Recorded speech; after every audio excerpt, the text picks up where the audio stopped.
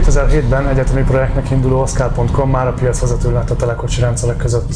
De nem tudunk róla semmit, hogyan alakult és egyáltalán miért pont Oscarnak a neve.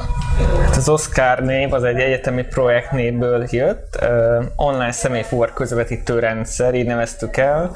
Akkor a saját közlekedési problémáinkat próbáltunk megoldani azzal, hogy a baráti körön belül megszervezük az, a hazautazásokat. Mindketten Szombathely környékéről származunk, és Budapestre jártunk egyetemre, és hétvégenként, amikor hazajártunk, akkor ez mindig egy, egy problémát jelentett, hogy, hogy ki, mikor autóval, hogyan megy, hány szabad helye van, ezt szeretnénk volna az internet segítségével egyszerűsíteni, megoldani. És ma hány felhasználónál jártok? Most már 170 ezer regisztráltak körül járunk. És azt tudjátok, hogy ők hány kilométert tesznek meg, és mennyi pénzt költenek el az Oscarra? Igen, tudjuk.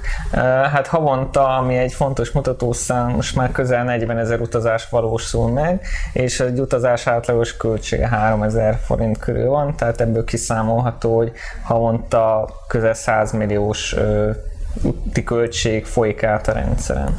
Ahogy nézegettem, ez a 3000 forint, ez viszonylag az ország két vége között értendő, tehát Budapest és mondjuk Nyíregyháza vagy Sopron.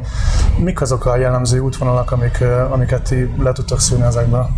A Magyarországon belül a legjellemzőbbek a Budapest és megyeszékhelyek közti útvonalak. A Budapest-Pécs a legnépszerűbb, de Szeged, Debrecen, Miskolc, tehát ahol autópályavíz talán az, azok a legnépszerűbbek, viszont egyre népszerűbbek a külföldi célpontok is, főleg Ausztria, Németország, Svájc. Itt ugye a külföldre dolgozni, pihenni, ingázó magyarok utaznak főleg.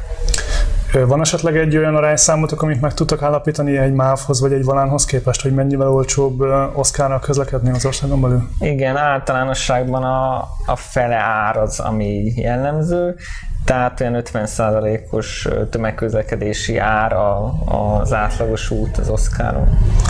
Volt mostanában egy napos balhé egy oszkáros utazással kapcsolatban. Ennek elmondanád a jogi hátterét, hogy miért lehet mindenki nyugodt, aki az oszkárt használja? Szerencsére nem oszkáros utazás alatt volt ez balhé, illetve nem is telekocsi utazás, egy úriember feketén fuvarozott gyakorlatilag egy baráti társaságot Bécsbe. Sajnálatos módon a sajtó ezt összemosta a telekocsizásra, pedig a NAV sajtóközleményében pont az szerepelt, hogy a telekocsizás továbbra is adó ö, fizetés kötelezettségmentes és bejelentési kötelezettségmentes. Tehát, amint említettem, a NAV deklaráltan, hogyha valaki csak csak megosztja az utazási költségét, tehát nem szerez ebből profitot, akkor ez, ez nem minősül profitnak, nem minősül jövedelemnek, ezért nem kell bevallani. Persze, hogy tudtam! Csak nem sejtettem. Én utaztam többször is Oszkára, sofőrként is és utasként is, és feltűnt, hogy igazából itt nem csak arról van szó, hogy megosz, megosszuk a költségeket, hanem ez sokkal jobban egy, egy közösségi élmény is. Így van, hát az első számú motiváció az a költség megosztás, tehát mindenki szeretné az utazását, ha már mindenképp muszáj utazni, akkor minél olcsóbban megoldani. És ezután egy, egy extra élmény, egy, egy nem várt előny, hogy az utazás így egy, a telekocsizással egy élményé tud válni. Tehát az eddig unalmas utazási órák beszélgetésekkel, érdekes emberekkel, megismerkedésekkel uh, tudnak eltelni.